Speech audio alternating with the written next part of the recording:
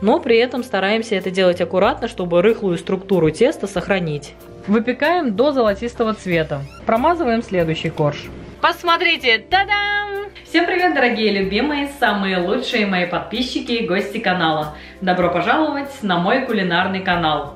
По вашим многочисленным просьбам сегодня мы работаем на кухне у тети и готовим ваш долгожданный Наполеон. Наполеон у тети очень рассыпчатый, нежный, очень вкусный Наполеон, вкуснее я не ела. Оставайтесь с нами, сейчас тетя покажет, как приготовить вкуснейший, нежнейший Наполеон. Мы начинаем.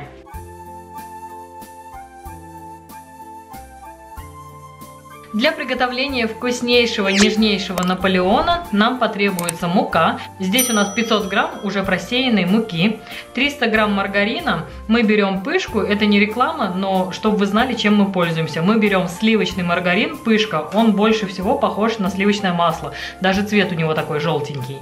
2 яйца, а также вода. Посмотрим, сколько у нас израсходуется воды. Чуть позже мы обязательно скажем, а также внизу в описании под этим видео вы найдете все точные пропорции продуктов. Значит, берем сначала стакан и в стакан разбиваем 2 яйца. Яйца взбалтываем вилкой.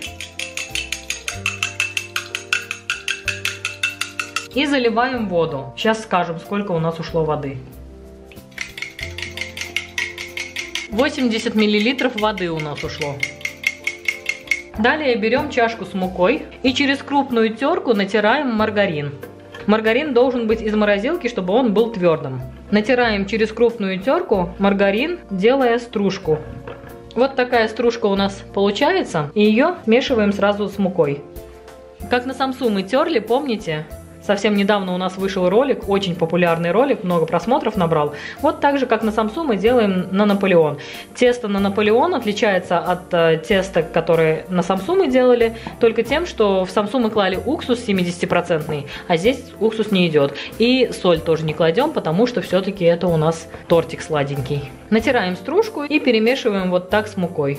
Сейчас до конца натрем маргарин, затем покажем, что делать дальше. Итак, смотрите, полностью мы натерли маргарин, и теперь тетя вот так перетирает маргарин с мукой. Вот так.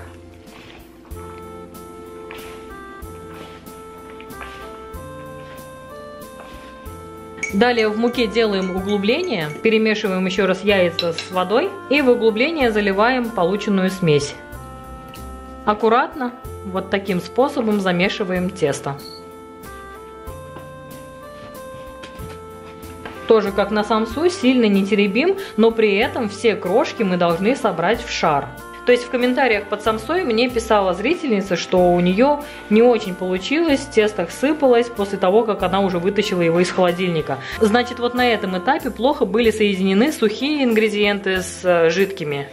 Вот на этом этапе особо сильно, как на пельмени, тесто мы не вымешиваем, аккуратными движениями, но соединяем полностью сухие ингредиенты с жидкими. Прям ручкой, видите, вот так нажимаем, соединяем. Но при этом стараемся это делать аккуратно, чтобы рыхлую структуру теста сохранить. Вот так. Друзья, смотрите, тетя собрала тесто в шар, но тесто прилипало к рукам. Поэтому мы слегка чашку подпылили мукой и прокатали по муке этот колобочек. Теперь уже колобочек к тетиным рукам не прилипает. Вот смотрите, вот такое тесто у нас получилось. Оно очень мягкое, вот такое, пальчик прям проваливается. Ингредиенты все соединены, то есть вкраплений маргарина здесь не видно полностью такой гладкий, хороший шарик, но при этом мы его не вымешивали сильно, старались не вымешивать сильно, а старались сохранить структуру теста.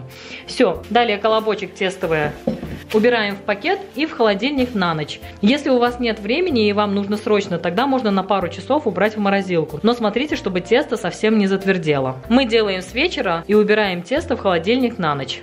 Завтра у нас канун праздника 8 марта, мы поедем к родителям и там будем выпекать Наполеон и покажем, что делать дальше.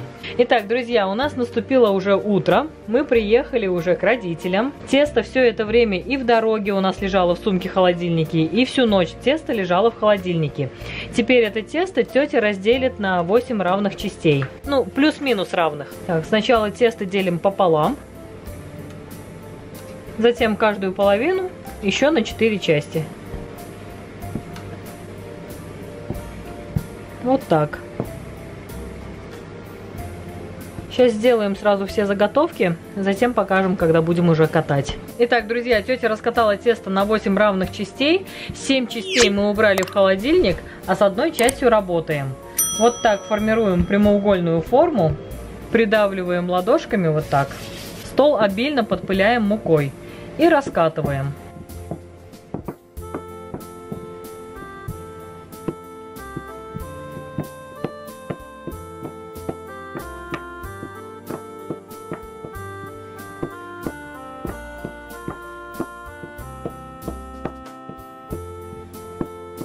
Так сворачиваем тесто на скалку и подпыляем мукой.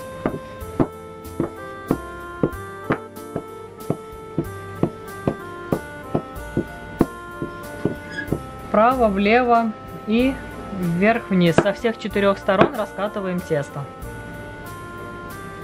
Тесто раскатываем довольно тонко, примерно до 1 мм толщиной. Аж стол просвечивает. Если вам нужно прям аккуратно, красиво для гостей или там в качестве подарка вы для кого-то печете, то тогда края можете обрезать сразу на этом этапе и уже выпекать ровные коржи. Вот так сворачиваем тесто на скалку, а затем берем противень и противень переворачиваем, потому что противень глубокий и разворачивать тесто на него неудобно. Поэтому мы его перевернули. Принципе, особой разницы нет с какой стороны у нас будет лежать противень внутри духовки. Особой разницы нет, поэтому мы вот так переворачиваем на пергаментную бумагу и отправляем в духовку. От духовки не отходите, потому что первый корж будет печься чуть дольше, а последующие коржи будут буквально за 5-7 минут выпекаться. Выпекаем до золотистого цвета.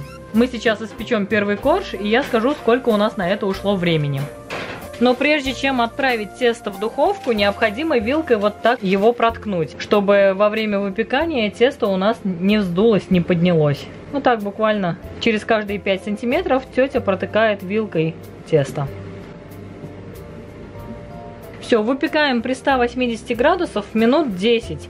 Смотрите по своей духовке, возможно понадобится чуть меньше или чуть больше времени. И пока у нас выпекается первый корж, тетя катает второй. Вот так сначала припыляем обязательно стол мукой. Сначала в колбаску она раскатывает, потом колбаску приплющивает и формирует прямоугольник. Вот так. И раскатываем. Сначала в длину тетя раскатывает, а потом в ширину. Вот так. Подпыляем мукой, накрутив тесто вот так на скалку. С одной стороны и с другой стороны. Все точно так же, как первый корж, раскатываем очень-очень тонко, чтобы просвечивался стол до 1 миллиметра. Меньше даже, да, наверное? Один миллиметр. Один, да?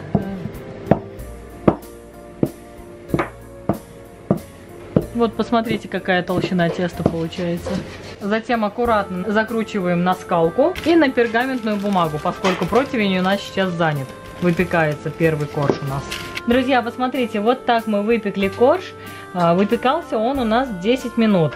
Сейчас второй корж уже положили в духовку. Второй корж будет выпекаться чуть меньше. Не отходите от духовки, смотрите, не прозевайте, чтобы корж не перепекся. Сейчас мы раскатаем все оставшиеся коржи, выпечем все. И необходимо будет, чтобы коржи полностью остыли. Затем покажем, что делать дальше. Итак, друзья, посмотрите, мы выпекли все коржи уже. Сейчас будем готовить крем. Крем для Наполеона тетя готовит сливочный. Для этого берет две пачки сливочного масла. Здесь получается 360 грамм. По 180 грамм одна пачка. 360 грамм сливочного масла. А также мы берем 450 грамм сгущенного молока. А также упаковку ванилина 1,5 грамма. Все это необходимо взбить миксером. Ну, крем можно делать любой, это дело вкуса. Можно сделать на сливках, кому как нравится. Миксером взбиваем масло и во время взбивания добавляем сгущенное молоко.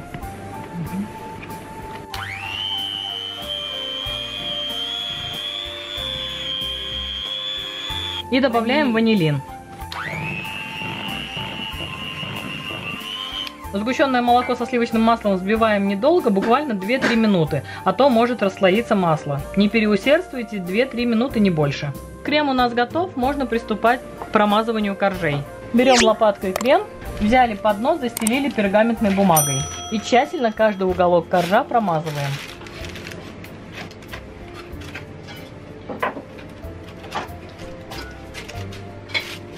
Вот так.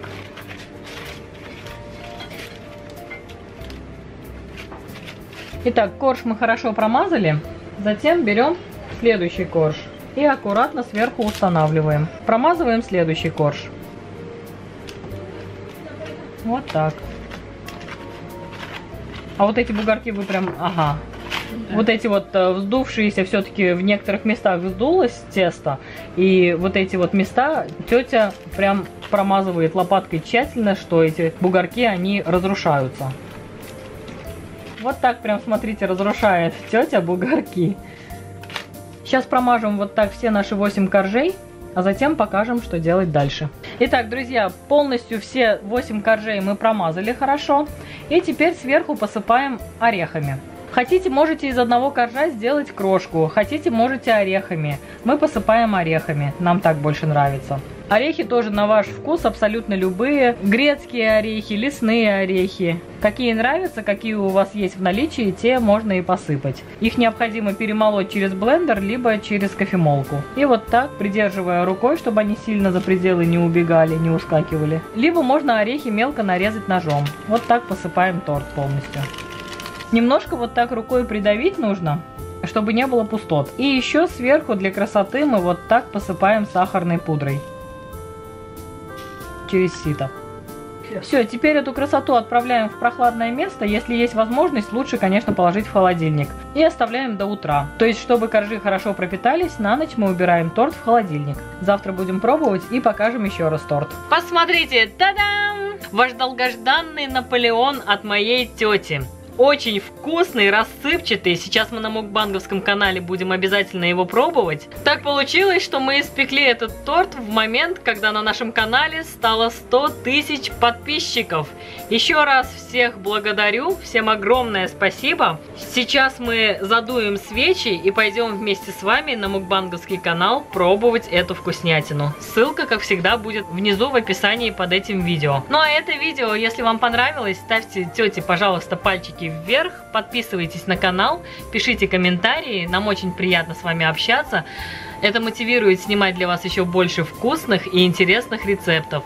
Огромное всем спасибо за лайки, за комментарии, за пожелания. А также всем спасибо за просмотр. Всем пока-пока. Приходите еще. Увидимся завтра. Ну а сейчас... Абдулла, поджигай. Не могу махнуть, спички описил. Ну что, друзья, час X настал, все свечи у нас горят. Задуваем